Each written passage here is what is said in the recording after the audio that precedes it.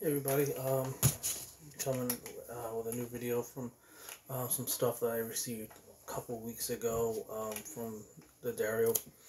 Um, so I have this D'Addario um, Artist Series capo uh, made for drop tuning. Um, this part right here will fret um, the high E all the way to the D and leave the E string open for drop tuning on my standard tuning guitars.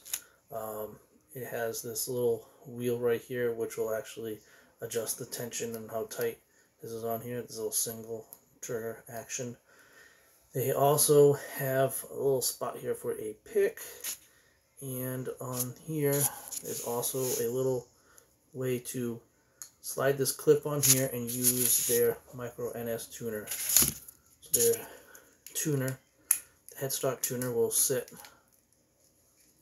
in this little clip and go on the headstock and then it could be removed and be put on the capo so you have ability to tune it at the same time with this clip-on tuner.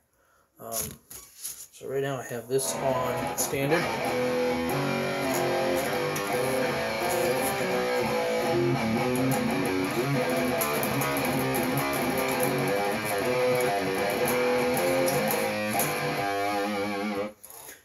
And then you put this on the second fret.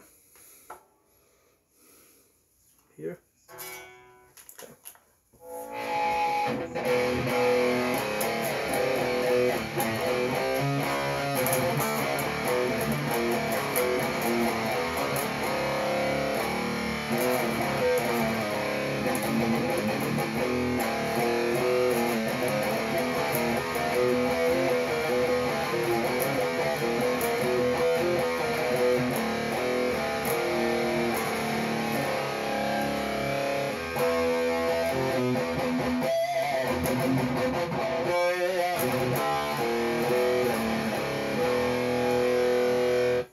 Just like that, without having to detune a guitar, especially if you have one with a locking nut on it, you can just simply change the tuning uh, rather than messing around with the fine tuners if you don't have enough thread on them to detune to uh, a drop tuning position.